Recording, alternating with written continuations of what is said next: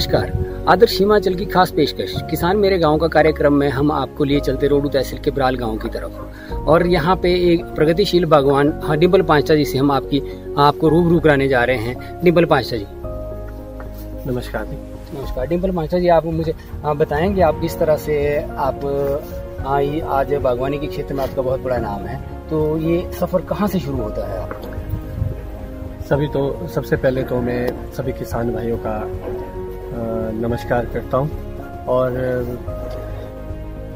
जैसे कि आपने मुझसे पूछा कि भाई ये सफ़र कहाँ से शुरू हुआ, ये बहुत ही पहले शुरू हो चुका था जब मैं स्कूल टाइम में था। ये लगभग सन 2000 के आसपास की बात है। जब से हम इस फ़ील्ड में प्रोफेशनली और साइंटिफिकली तरीके से आए। पहले बागवानी होती थी एक ट्रेडिशनल वे से। तो जैसे भी, जैसे कि आप सभी को पता है कि जो हमारी ओल्ड वैरायटीज़ है, ये अब क्वालिटी में, मैं बिल्कुल ख़त्म हो चुकी थी। तो जब मैं ऑर्चर्ड में आया, जब मैंने देखा, एक तो प्रोडक्शन नहीं थी। सबसे पहला फोकस मैंने क्या किया कि भाई प्रोडक्शन क्यों नहीं आ रही? तो हमारे पॉलिनेशन वैरायटी की बहुत कमी थी। तो सबसे पहले खुद अपने हाथों से वो क्राफ्ट की। तो सेकेंडरी जो बात थी कि प्रोनिंग जिस पे विशेष ध्यान नहीं देते थे हमारे बागवान और हमारे जो प्रोनिंग करते थे लेबर वाले। तो अच्छा इसके लिए कोई आपने कोई स्पेशली कोई ट्रेनिंग वगैरह नहीं इससे लेकर क्रॉप तक का? इसके इसके रिगार्डिंग कोई भी ट्रेनिंग नहीं ली मैंने। मगर थोड़ा बहुत इंटरनेट से ज़रूर सीखा हमने कि भाई और अपने इनोवेशन से सीखा कि भाई सेब लगेगा बीमों में। सिंपल सी बात है। और हमारे प्रूनर ने क्या था? बीमा तो रखा ही नहीं था। तो हमारा जो पहला टारगेट था कि नया स्पर बनाना बीमा बनाना। तो जब हमने न्यू बर्ड बनाए और एक अच्छा पॉलिनेशन गया तो हमारी प्रोडक्शन ऑटोमेटिकली बढ़ गई। इसके इसके लिए कोई विशेष वो नहीं किया हमने कोई ट्रेनिंग और प्रोनिंग अच्छा, कोई स्पेशल नहीं नहीं नहीं, नहीं नहीं तो जिस तरह से आप क्रॉप वगैरह को ले लेके कटिंग प्रूनिंग का जो कार्यक्रम रहता है, आपका शेड्यूल रहता है तो लोगों के लिए इतना सारा टाइम किस तरह से निकालते हैं एक्चुअल में जी, मैं एक सोशल वर्कर हूँ। एक्चुअल में मैं ये जो जिस वक्त हमने शुरू किया था, ये कार्यक्रम या फ़ार्मिंग में आए थे तो लोग एक दूसरे को शेयरिंग नहीं करते थे नॉलेज शेयर नहीं करते थे, एक दूसरे को कुछ बताते नहीं थे। तो इस चीज़ को मैं कुछ अलग लेवल पे ले जाना चाहता था, कि अपने लिए तो सारे ही। जीते थोड़ा सा किसी और के लिए भी जियो तो शायद अपने कर्म अच्छे हो जाए। और दूसरी बात है जी, जो एप्पल इंडस्ट्री है, वो पर्टिकुलर किसी एक आदमी से नहीं है। क्योंकि हमारे पास मार्केट बहुत बड़ी है और हमारे पास प्रोडक्शन बहुत कम है। जैसे आपको पता है कि पूरे हिमाचल की सात से आठ मीट्रिक टन पर हेक्टेयर है। तो इस चीज़ को अलग लेवल पे ले जाने के लिए कि सेब सबके होने चाहिए। नहीं तो पर्टिकुलर किसी एक कम्युनिटी के रह जाते थे ये चीज़ें ना जी। तो क्योंकि जब हम नेट से जुड़े तो हमने देखा फॉरेन में कॉपरेटिव में मिलके लोग काम करते हैं और अपने रिसर्च इंस्टीट्यूट है उनके।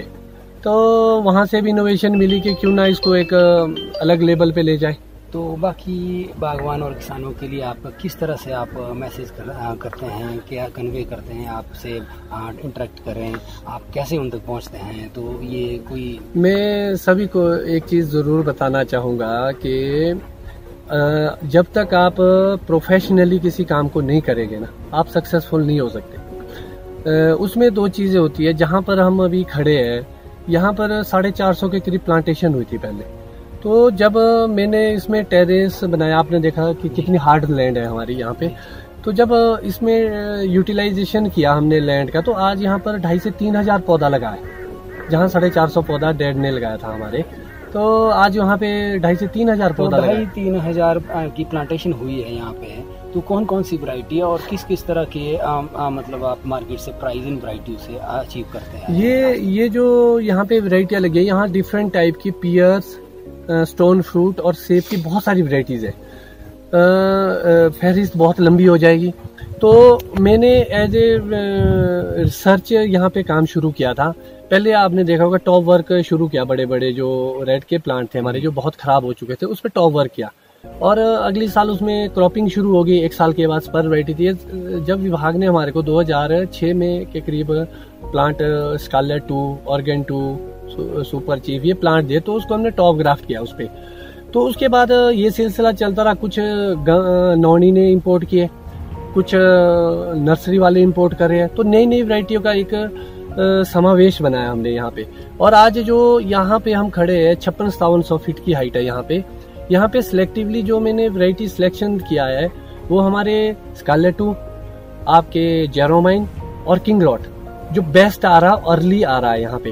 वैरायटीज तो बहुत सारी लगी है यहाँ पे, कुछ मिडल की है, कुछ हाइट की है।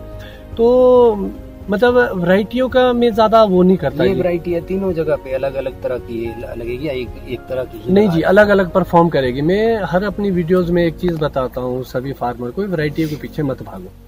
क्योंकि सेब लाल चाहिए। या तो ग्रीन होता है या येलो होता है या फिर लाल होता है। तो आपके एलिवेशन में जो वैरायटी सबसे अच्छी परफॉर्म करे उसको मल्टीप्लाई करो। और वो अलग अलग सेम हाइट पे अलग भी हो सकती है। किसी की परफॉर्मेंस वो सिलेक्शन फार्मर ने खुद करनी है ना कि वैरायटियों की दौड़ फार्मर इसकी सिलेक्शन कैसे कर सकता है? वैरायटी की सिलेक्शन फार्मर ऐसे कर सकता है कि जैसे कोई लोअर एलिवेशन की तीन वैरायटियाँ मैंने आपको बताई जो सबसे अच्छी परफॉर्म करी है। इसको आप किसी एक प्लांट में टॉप वर्क कर सकते हैं। एक सैंपल ले लेंगे। अब तो अर्ली आ जाता है सैंपल दो एक साल में। तो सैंपल लेने के बाद जो अच्छा परफॉर्म करे उसको मल्टीप्लाई करो। क्योंकि ये वैरायटियों की दौड़ तो चलती रहेगी क्योंकि बहुत सारी वैरायटीज है ये तो आती रहेगी। तो लैंड होल्डिंग हमारे पास हिमाचल के फार्मर का बहुत कम है। तो इसके लिए कोई आप लैंड कोई आ, अपना स्पेशली आप चाहेंगे जिस तरह की नई वैरायटी आ रही है तो इसमें बागवान किस तरह से अपने आप को आ, किस वैरायटी को कहाँ पे कौन सी ऊंचाई पे मध्यम स्तर पे हाई लोअर हाइट पे और बिल्कुल मिडिल हाइट पे और हाइट पे किस तरह से इसको करें। इसके लिए कोई पानी वगैरह की आवश्यकता रहती है सबसे पहले तो मैं बेस से आऊँगा आपके रूट स्टॉक से। रूट स्टॉक हमारे दो एक तरह के हैं एक जो बीजू है सीडलिंग रूट स्टॉक जिसको हम बोलते हैं, और ये हमारे जो M nine one triple one जो क्लोनल रूट स्टॉक चले अब, दौर चला है। तो फार्मरों के लिए मैं दो चीज़ें क्लियरली बताना चाहूँगा कि जैसे हमारा सीडलिंग रूट स्टॉक है, क्योंकि हमारे यहाँ टफ टेरेन है। यहाँ पर इरिगेशन फैसिलिटी नहीं है हमारे। पानी बहुत कम है हमारे पहाड़ों में।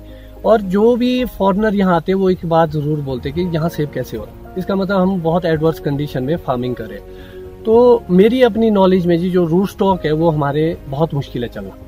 हाँ किसी के पास पानी है या वर्जन लैंड है, हो सकता है वहाँ पे अच्छा परफॉर्म कर ले। अगर आप देख पा रहे हो मेरे भी पूरे ऑर्चर्ड में ड्रिप इरीगेशन में लगा है तो इसके बेनिफिट्स तो बहुत सारे हैं। आप खादे इसके थ्रू डाल सकते हैं और ड्रॉट के वक्त में आप सिंचाई कर सकते हैं। मगर इतना कामयाब नहीं हो पा रहा ये हमारे रूट स्टॉक के लिए। क्योंकि हमारी मैक्सिमम लैंड अब हिमाचल में सेकंड और थर्ड जनरेशन पे फर्टिलिटी खत्म हो चुकी है हमारी। तो जब फर्टिलिटी खत्म हो चुकी है तो रूट स्टॉक का उगना बहुत टफ है हमारे लिए। आ, मैं ये बताना चाहूँगा फर्टिलिटी के बारे में थोड़ा सा समझाएँ आप बागवान के भाइयों को। आ, बताएँ कि भी ये किस तरह से खत्म होती है और कैसे इसका एक्चुअल में जो हमारी प्रैक्टिस थी पुरानी आपने देखा होगा हमारे बुज़ुर्ग कोई फ़सल बीजते थे तो बदल बदल के बीजते ताकि फर्टिलिटी मेंटेन रहे। और आज जो ऑर्चर्ड है हमारे हंड्रेड ईयर हो चुके हैं हमारे को सेब के तो नेचुरल सी बात है।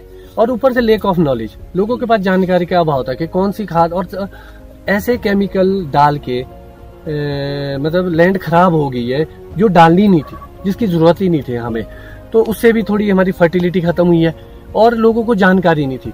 अब जैसे माइक्रो और मैक्रो न्यूट्रेंट्स होते हैं अब लोगों को नाइट्रोजन सुपर पोटाश के बारे में तो पता है मगर magnesium boron zinc sulphur manganese इन चीज़ों की जानकारी नहीं है। और शायद हमारा विभाग या यूनिवर्सिटी भी लोगों तक नहीं पहुँच पाई। जो सच्चाई है ना, कि फार्मर को अवेयर नहीं कर पाई कैंप के माध्यम से। तो ये बेड़ा हमने खुद उठाया। आज हम लोगों को फर्टिलिटी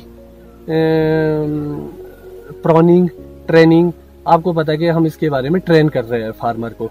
और जगह जगह पे जाए, हज़ारों फार्मर को हम ट्रेनिंग दे रहे हैं इसके रिगार्डिंग तो और जो वैरायटी सिलेक्शन पूछी थी आपने लो हाइट में हमारे किंग रॉट जेरोमाइन और आपके स्कारलेट ये बेस्ट चल रहा है। जो हमारे थोड़ा मध्यम ऊंचाई वाला क्षेत्र आता है, हमारा लगभग छह हज़ार बासठ सौ की हाइट पे, वहाँ हमारे Oregon two super chief red can ये कुछ एक वैरायटी है जो बहुत अच्छी परफॉर्म करी। फिर हमारा एक हायर एल्टीट्यूड आता है, जो हमारे टॉप हाइट्स आती है। वहाँ अर्ली रेड वन हैपके आपके पिंक लेडी और ग्रैनी स्मिथ ये सारा चल सकता हाइट में। और एसएस पर भी काफ़ी अच्छा परफॉर्म कर रहा है हाइट में। तो जो भी आप वरायटी सिलेक्शन करें तो एलिवेशन के हिसाब से सिलेक्शन तो ये जो इस वैरायटी आप कह रहे हैं हर तरह की किस्म के जो नाम बताए आपने इसमें जो है बागवान इनको कहाँ से ले सकता है? और आपसे आप क्या सजेस्ट करते हैं उनको कहाँ से लें? कहाँ वैसे तो ये सारी वैरायटी हमारी नोनी यूनिवर्सिटी भी देती है प्लांट देती है बने बनाए। और सेकेंडरी आज सब लोग ओपन है। आज हम भी अपनी बटबूट देते हैं फार्मर को। बहुत सारे लोग हैं जो लोगों को कल में प्रोवाइड करते हैं। आप मेरे से भी ले सकते हैं या कहीं और से भी अरेंज कर सकते हैं। मगर एक जेन्युइन सोर्स से हमेशा लीजिए अथेंटिक सोर्स से कि क्योंकि एक बार अगर वराइटी सेक्शन गलत हो गया आपका तो आपको कल को फिर से पछताना पड़ेगा। तो ये थे ब्राल गाँव के डीपल पांचटा। धन्यवाद।